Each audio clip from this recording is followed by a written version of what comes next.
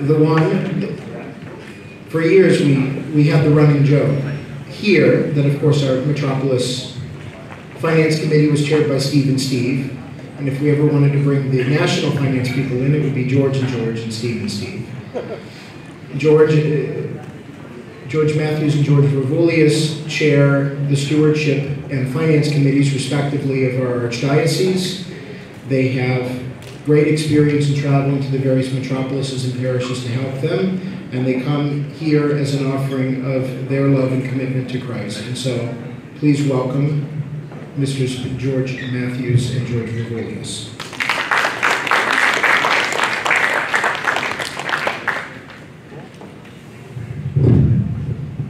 I don't like computers. Good morning. Everybody get their slippers on. Sit back and relax because you're uh, in line for one of our usual five and a half hours presentations of us telling you what to do, which you won't do anyway. It is really a pleasure for both of us to be back uh, at the Pittsburgh Metropolis. I was visiting with a few of your priests last night. We told some stories, and uh, Father Livanos said to me, oh, you have to tell that one in the morning. I'm not telling that one in the morning. But uh, we have my friend George from Australia, who's down under, who gives a lot of time and effort to his, his church. He's on the uh, P&B plan today.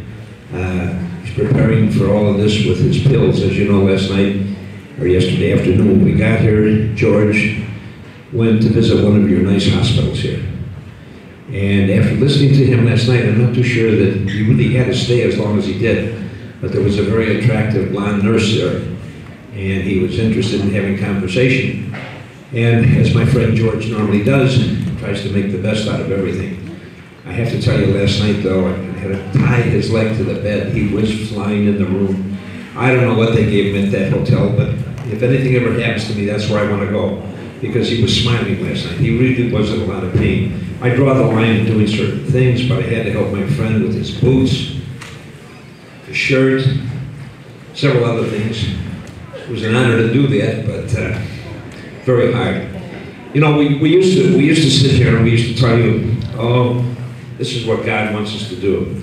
He wants us to prepare, and He wants us to give back to Him exactly what He's given to, to us, which is a return of the gifts.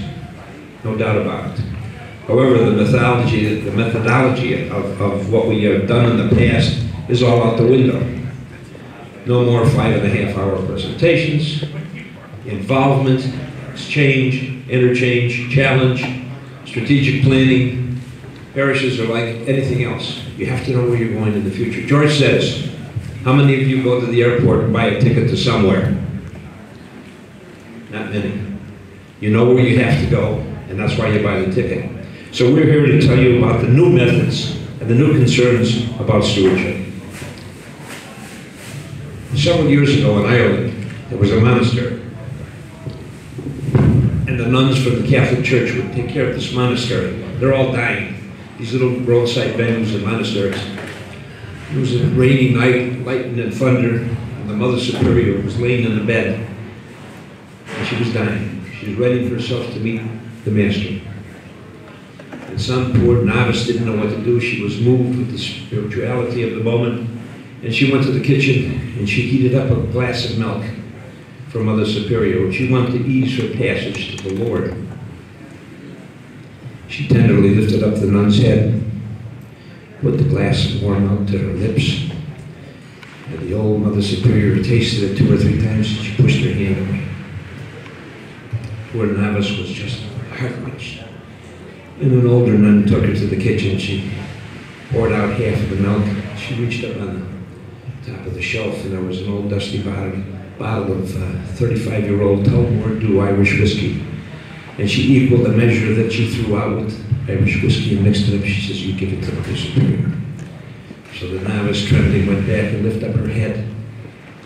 And she put the glass in front of her. And the nun went, And she lit a little bit, and finally she grabbed the glass and she sat up in bed and she downed the whole thing, laid back on the pillow, and she says, ah, I'm ready to meet the Lord. And with that, the other nuns were all prayerfully happy that she came back to life. And she said, Mother Superior, give us some words of wisdom. Give us words of wisdom before you go to meet God. She leaned up with an Irish twinkle in her eye on one arm and she says, Don't sell the cow. I didn't think it would take this morning. So, stewardship, change in paradigm. You have been blessed with people who understand what we're doing. You have a tremendous stewardship committee. You have tremendous people that, that work on behalf of you as individuals, the metropolis, and the archdiocese, because it's our archdiocese. It's not mine, it's not his, it's, not, it's ours. And the unification of thought is very important in this process. George will tell you later on that when you mention the word stewardship, everybody thinks what? Money, you're right. Not the case. Not the case anymore. And there's great reward in the new approach to stewardship. I enjoy traveling with George. I learn every time we're together. I learned a lot of things this weekend about tolerance for someone that's sick. I guess my stewardship to him was helping him through this in the morning.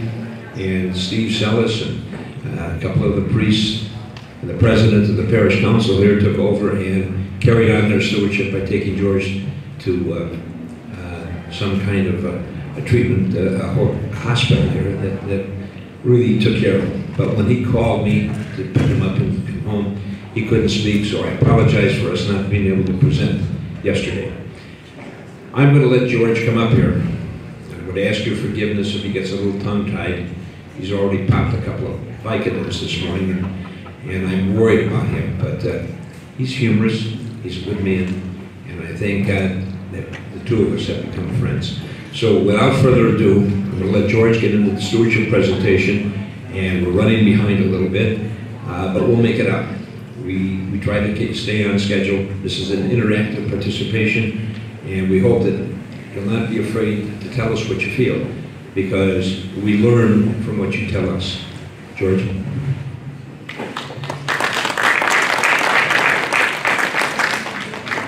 Thank you, Mr. Vourvoulias. You know, um, I've learned how to pray. And the reason I've learned how to pray is I never know what George is going to say when he gets up here. So I sit back there every time and he, he makes an introduction, and I pray a lot. Um, great. Just to embellish a little bit on what George had to say, we've been doing this stewardship thing for quite a while. I think it was close to 12 years. And we started, we started out by making presentations and getting people enthused and getting them excited about stewardship. But when we left, they didn't know what to do. Normally, we had groups of people together, and uh, we'd have two or three from each parish. When they went back to their parish councils, they didn't know how to explain what we were talking about or how to get it done. So we've started a new program. And that program is to visit the parishes on two individual separate weekends. The first weekend, we, we go to be with the parish. We meet with the leadership on Friday night. We have dinner with the parish council so that we can get to understand exactly this parish's particular point of development. When we understand that, we can deal with their issues trying to, better than trying to do a, a shotgun effect and scatter it everywhere. The next morning, we meet with the stewardship committee. Again, we're looking at their particular issues, their particular problems, and we talk about stewardship and what it means, and you'll hear some of that today. In the afternoon, we deal with the ministry leaders of the parish. Normally, we find that most of the most of the leadership in the ministry area of a parish sits with a lot of parish council members, and we find parish councils that are not that are not ministry-based organizations. And by ministry-based organizations, I'm talking about not every member of the parish council has a set area of responsibility. Not only does he not have a set area of responsibility, but there's no accountability. And so what usually happens when you have a parish like that, you get the old 80-20 rule. Alfredo Pareto was an Italian economist who in 1896 came up with a theory that in any financial tra transaction, 80% of the uh, uh, effects were generated by 20% of the causes. Since that time, we've extrapolated that and we say 20% of the people give 80% of the money and 20% of the people do 80% of the work. And when you've got a situation like that, it's not a good situation to be in. Because usually what happens is we keep working the 20%, we get burnout, and then we've got problems. On top of that, in the, on, the, um, on the Saturday afternoon, we talk about the importance of ministry and how to set up and run a ministry-based organization.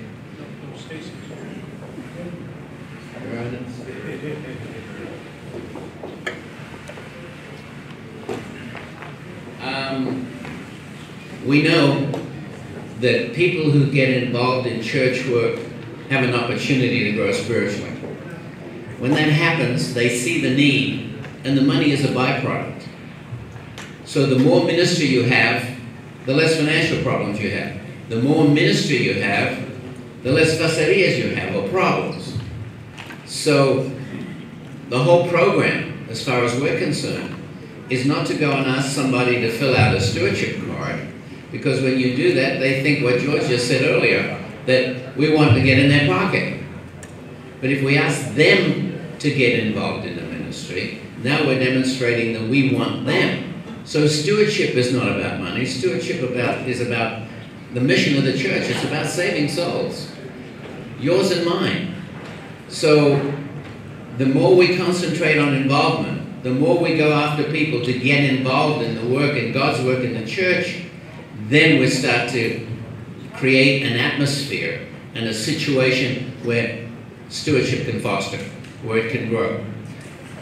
So it, it's all about involvement, and you're going to hear some, some of that this morning. I'm going to go through this presentation quickly because we'd like to be more interactive, and we just don't want to talk at you, we want to talk with you.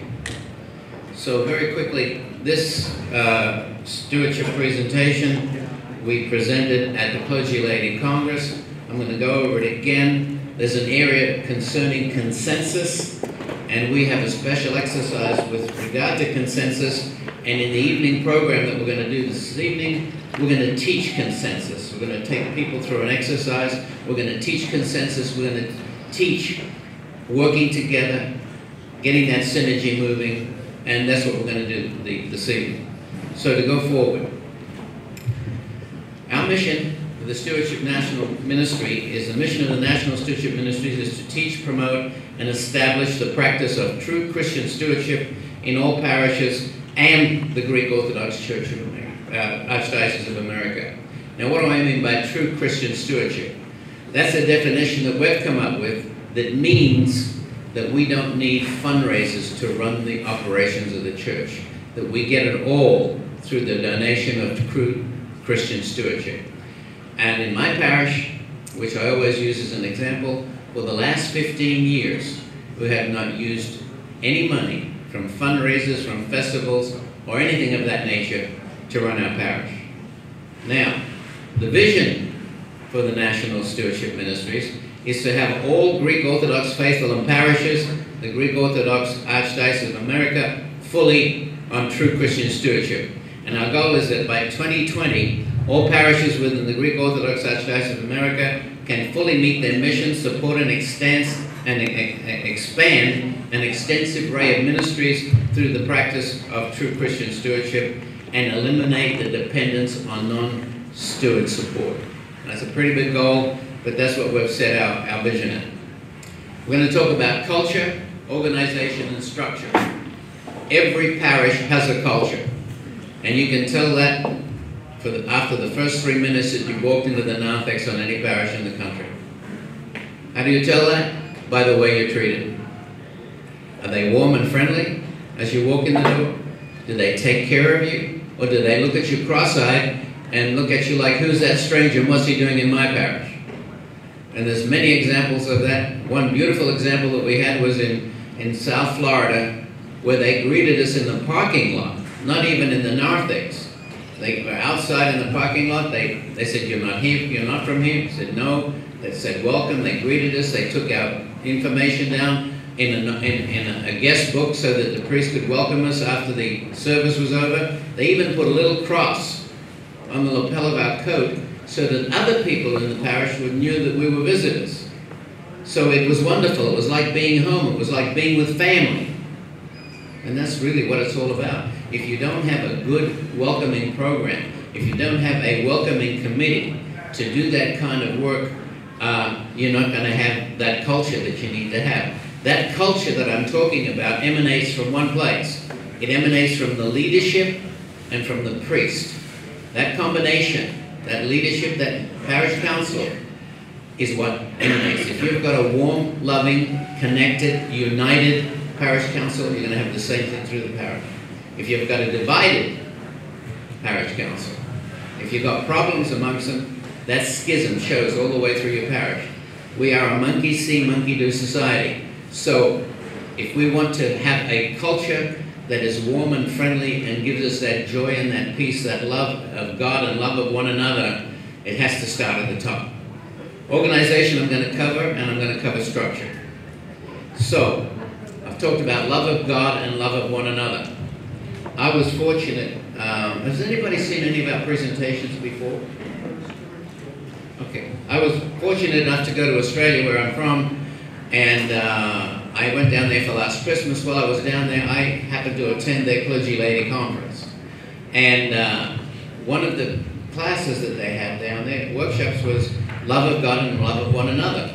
And the priest who was conducting the workshop had a story, and I'd like to repeat it here. He said there was a husband and wife who'd been married for some time, and they decided to watch the sunset off their front porch. She was drinking a glass of wine, and they sat on the porch and they were enjoying the sunset. And after a while, the husband heard the wife say, I love you. You're the best thing that's ever happened in my life. If you were not here, I wouldn't want to be here either. So after a pause, the husband said, Was that you talking or was it the wine? And she looked at him and she said, No, it was me talking, but I was talking to the wine. so, we know that if you have love of God and love of one another in your parish, you don't have to worry about stewardship. It's going to take care of itself. It really does. I've got a quote, an example that I give for this, which is the, the cathedral in Atlanta. They built a huge complex, beautiful complex. They went over budget by about $5 million. And a lot of people were mad. And it created a schism in the parish. And we had cliques, and why did they do that? How could they possibly do that? And that's not what we agreed on, and you name it. And so they suffered. That extra $5 million was a debt on the parish, and they weren't able to get rid of it. And uh, so for a period, I'd say at least five or six years, that parish struggled. They struggled with the debt. It caused a problem within the whole organization. A new priest came on board. He taught them these two things, love of God and love of one another. Today that, he's been there two and a half years, and that debt is gone. So he united the people. He put them together. He taught them that love of God and love of one another. And like I said, if you have those things, if that permeates within your parish, don't worry about it. Stewardship's going to take care of itself. So what do you expect to be true of a parish that is fully meeting its mission? Let's go through that. Excellent attendance and participation in the sacraments. That means we've got a lot of people. that are participating in this in the sacraments. We're sanctifying them. Active and enthusiastic participation. Boy, I'm fluffy already. In activities and functions. That's the drugs working, guys. Generous donations. Enthusiastically volunteering time and talent. And the parish emulates the kingdom of God a culture overflowing with joy, peace, and love. You get that little taste of heaven in this parish because of the love and the atmosphere that's created by that love and respect of one another. We're all created in the image and likeness of God. If we carry that divine stamp, then we've got to treat one another as if we were dealing with Christ Himself. I've been in parish council meetings that are supposed to start at 7 o'clock and finish at 9 and we've been there at 11.30, and I've got two people each side of the counter when I was parish council president, and they're screaming at one another over a $200 item. Meanwhile, in the two hours or three hours beforehand, we've spent $50,000 either on an air conditioner or on the parking lot. And that does not create unity. So, how do we get to get towards the kingdom of God? We need to develop parish leadership that's oriented in the Holy Trinity. We need to foster that culture that I've spoken about, and we need to promote spiritual development through the practice of true Christian stewardship. All right? So let's review. If we've got a parish like the one on the left, and it's disorganized, we're not going to get anywhere. I want you to think about a sailing ship. And everybody on board the ship has a duty to perform, especially the guy that's handling the sails. All right?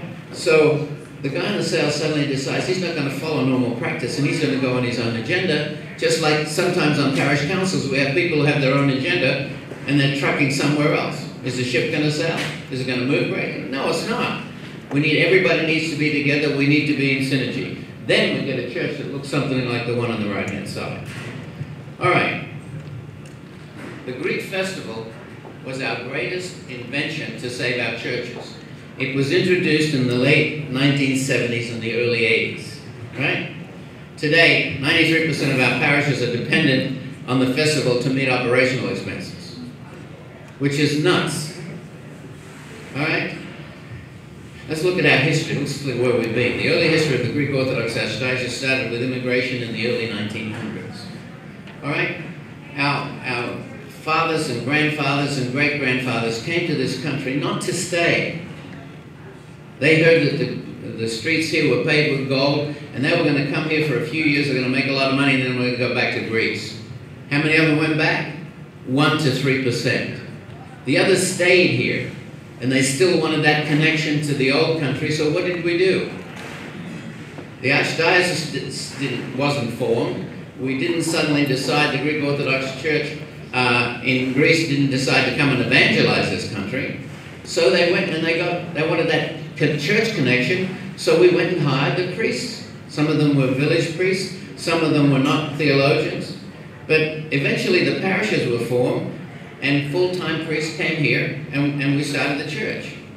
Then the archdiocese was formed in the early 1920s, and from the 1920s to the 40s, the early parish councils were introduced. So from the 1950s until now, here's how we've operated. We've got an educated theologian priest, we've got elected parish councils, we've got a general assembly, and then we've got the parishioners. So from the 1950s until now, this is how we've operated.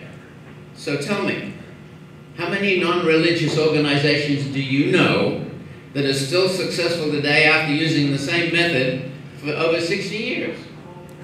Doesn't happen.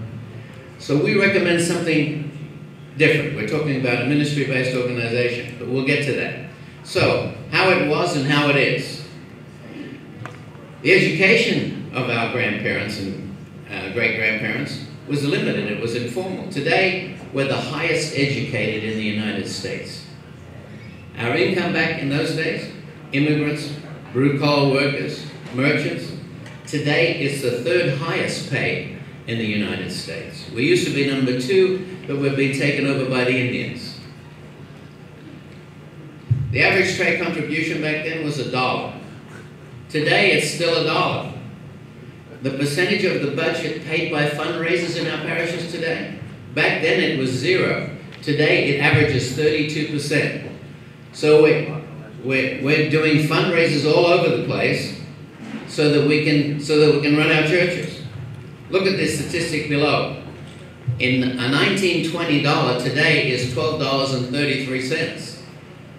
A 1965 dollar today is 7.47 cents.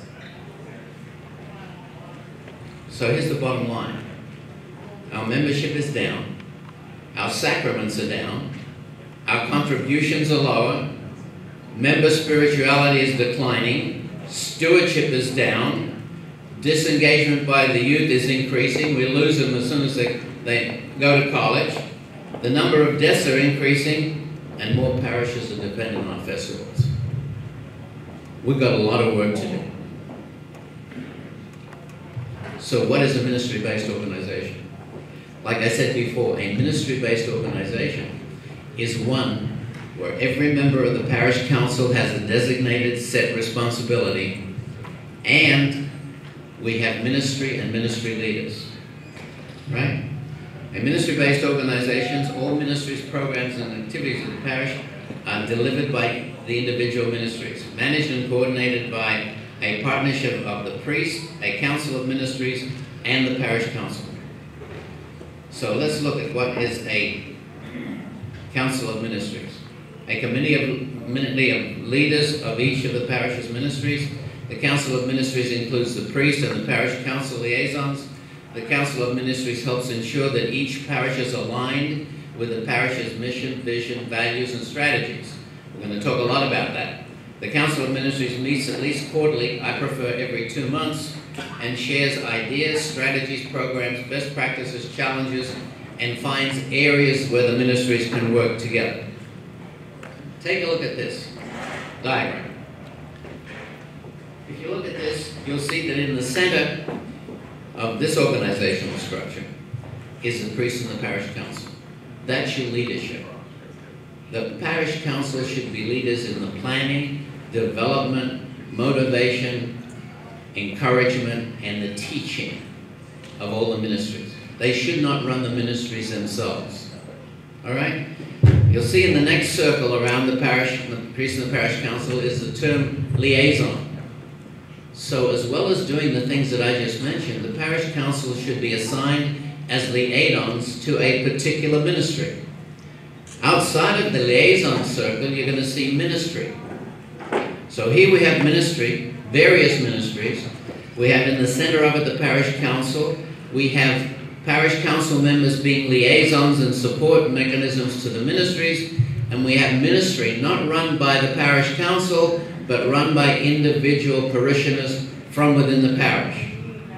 Then outside of that, we have a council of ministries, where that council of ministries all gets together and they discuss where they are and how they're doing, and then we know what everybody else within the parish is doing.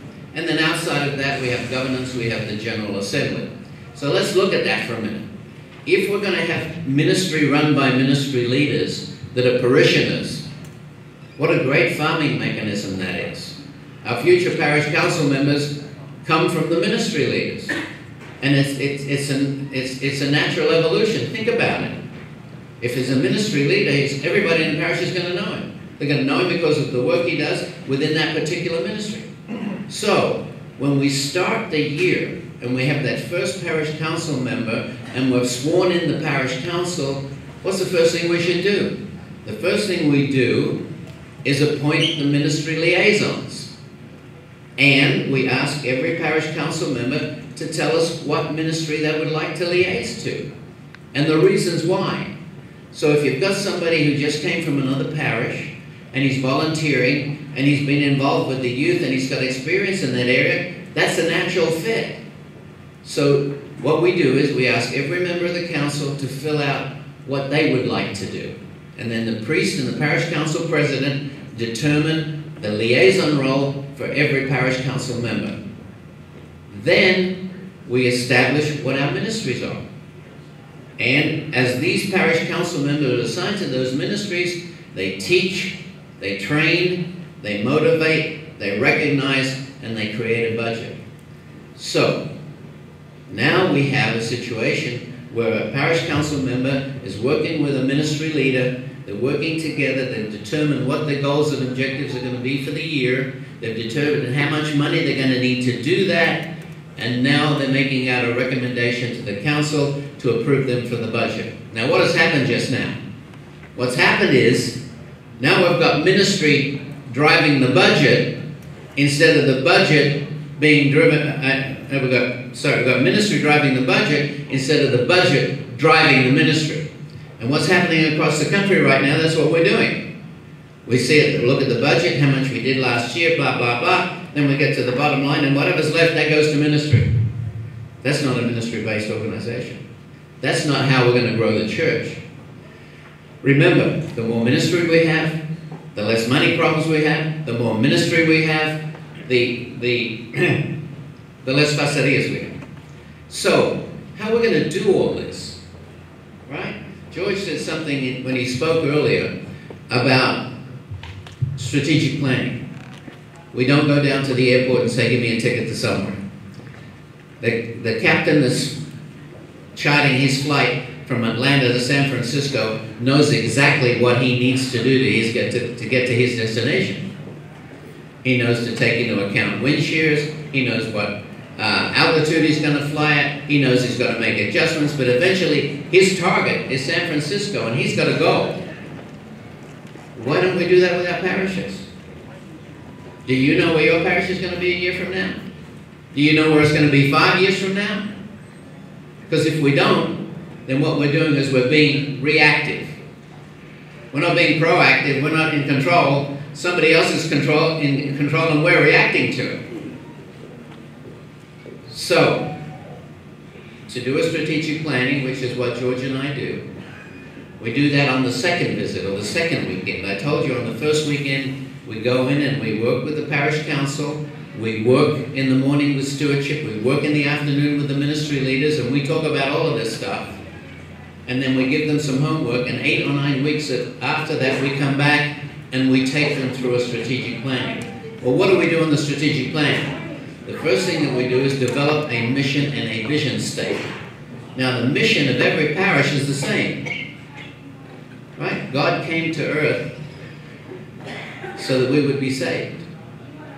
So it stands to reason that salvation is the mission of every parish.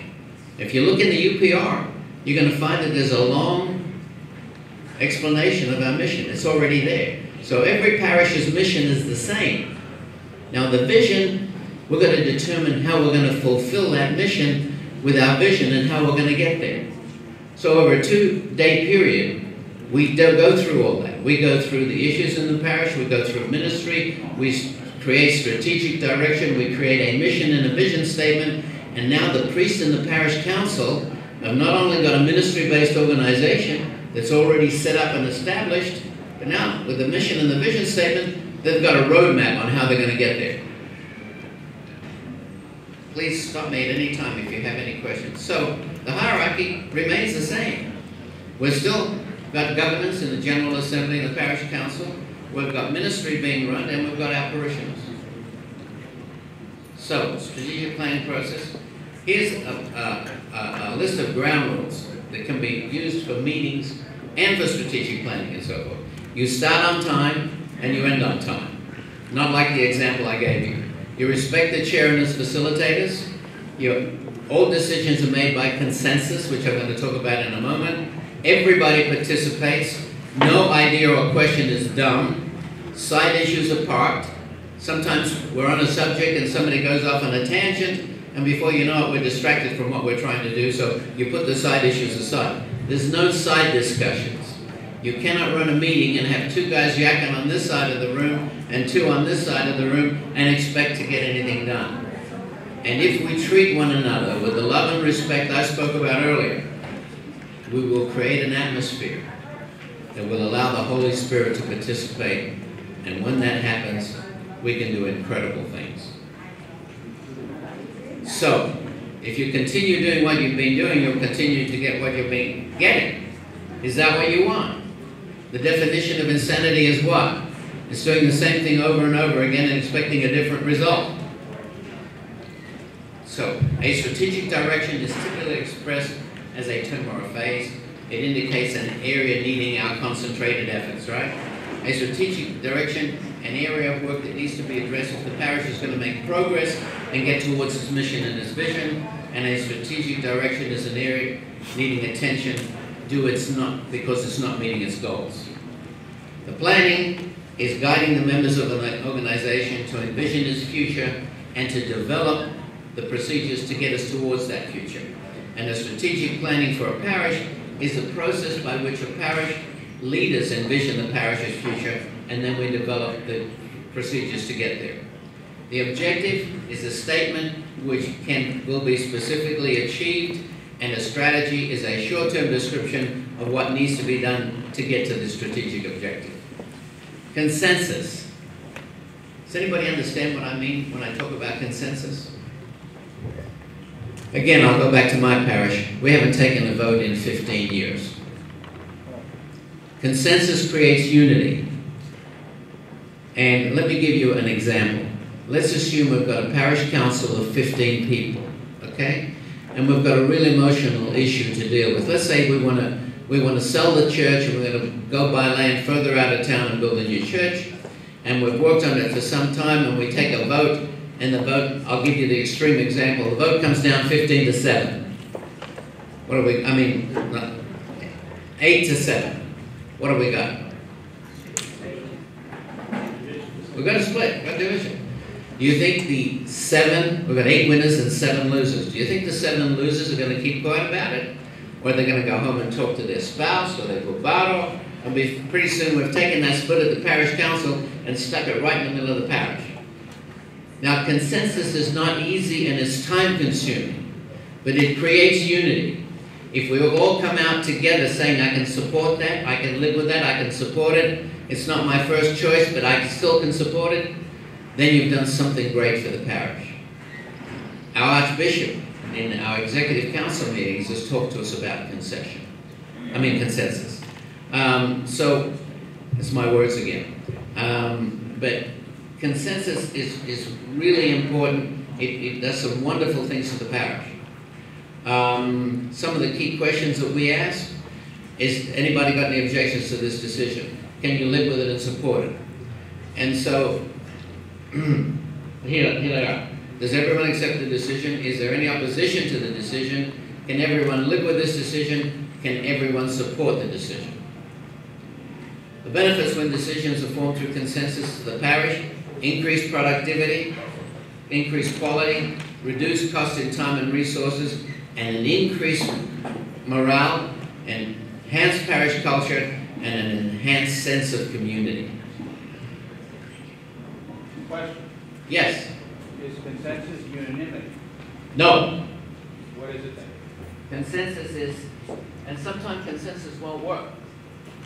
Consensus is saying that it's not my first choice, but I think about it, I can live with it,